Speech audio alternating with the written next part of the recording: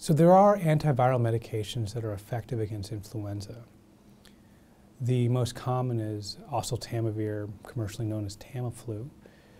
Uh, and in healthy people, it can reduce the symptoms of influenza from five days on average down to four days on average. But we don't want healthy people to actually get the antiviral if they're otherwise doing fine.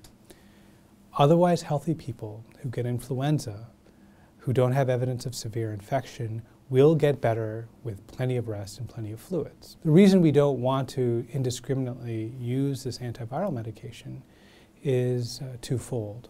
One is uh, there are shortages.